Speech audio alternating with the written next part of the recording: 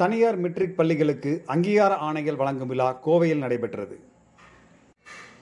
கோவை திருப்பூர் நீலகிரி ஈரோடு நாமக்கல் ஆகிய மாவட்டங்களைச் சேர்ந்த முன்னூற்றி ஐம்பது தனியார் மெட்ரிக் பள்ளிகளுக்கு தற்காலிக அங்கீகார ஆணைகள் வழங்கும் விழாவினை பள்ளி கல்வித்துறை அமைச்சர் அன்பில் மகேஷ் தலைமையில் நடைபெற்றது.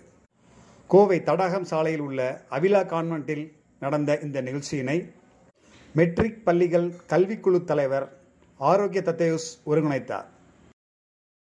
போயிட்டு இருக்கு சார் கவர்மெண்ட் ஸ்கூல் ஸ்டூடெண்ட்ஸோட டேட்டாஸ் வெளியில போகாம இருக்கிறது அதாவது இல்லை பொதுவாக இப்போ பொதுவாக எம்எஸ் நம்ம ஆரம்பிச்சதுக்கு பிறகு பார்த்தீங்கன்னா டூ தௌசண்ட் டுவெண்ட்டி ஒனில் வந்து இதே மாதிரி ஒரு இஷ்யூஸ் இருந்துச்சு. அதாவது டேட்டா வந்து லீக் ஆகிடுச்சு டேட்டா லீக் ஆகிடுச்சுன்னு சொல்லி ஒரு பெரிய இஷ்யூஸ் இருந்துச்சு. அப்போ நாங்கள் அதை விசாரிக்கும் பொழுது ரெண்டாயிரத்தி பதினெட்டுக்கான டேட்டா தான் அப்போ வந்து அது அப்போ வந்து அவங்க கொடுத்துருந்துருக்காங்க. ஏன்னா யாரோ அந்த நேரத்தில் வைத்திருந்ததாக தான் அது சொல்லப்பட்டது. பட் எம்எஸ் அப்படின்னு வரும்பொழுது இன்றைக்கு அது முற்றிலுமாக ஏன்னா நாங்கள் என்னுடைய துறை சார்ந்திருக்கின்ற நாங்கள் மீட்டிங் கூடும்போது அதான் முக்கியமாக சொன்னது தான் அது எப்படிங்க நம்ம சைட்லேருந்து லீக் ஆகும்போது இல்லை சார் இது பழைய டேட்டா போயிருச்சு. ரெண்டாயிரத்தி பதினெட்டுக்கான டேட்டா போயிருக்கு. நம்மளுக்கு டேட்டா போகவில்லை.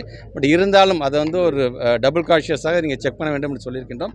இனி அது மாதிரி நடக்காத வண்ணம் பார்த்துக்கொள்வது எங்களுடைய கடமை. அந்த அரசு பள்ளிகளை காலை உணவுப்படுத்துவர்கள் பாஜக மாநிலத்தில் அண்ணாமலை ஒரு குற்றச்சாட்டு வச்சிருக்காரு. ஆட்சிக்கு வந்ததுக்கு பிறகு நிறைய அஹ், அரசு பள்ளிகள் இடித்து கட்டப்படும்னு சொல்லியிருந்தாங்க.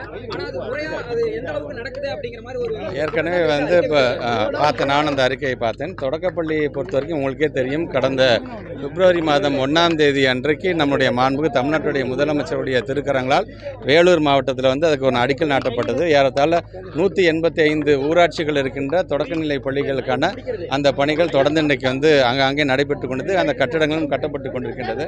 ஹைஸ்கூலில் ஹையர் செகண்டரி ஸ்கூலில் பொறுத்த வரைக்கும் நம்ம நபார்டு வண்டிக்காக நபார்டு வங்கிக்காக இன்றைக்கி அந்த ஃபண்டுக்காக நம்ம காத்து கொண்டு அது சென்ட்ரல் கவர்மெண்ட் வர வேண்டியது. அதுவும் வந்துவிட்டது என்று சொன்னார்கள் உடனடியாக அதையும் ஏன்னா இப்போ இவர் சொல்கிற மாதிரி எங்கெங்கெல்லாம் வந்து மரத்தடியில் உட்காந்து பிள்ளைங்கள் வந்து பாடம் பாடம் நடத்தப்படுகின்றதோ எங்கெங்கெல்லாம் இது போன்ற ஓப்பன் ஒரு திரை ஒரு அரங்கத்தில் வந்து உட்காந்து வந்து பாடம் நடத்தப்படுகின்றதோ அதை எல்லாத்தையும் முற்றிலாக மாற்ற வேண்டும் என்பதற்கு அதை நாங்கள் ப்ரையாரிட்டி லிஸ்ட் நாங்கள் கொடுத்துருக்கோம் நபார்டு வங்கி வங்கியிலேருந்து நமக்கு ஃபண்டு வந்ததுக்கு பிறகு உடனடியாக அதுவும் கட்டித்தரோம்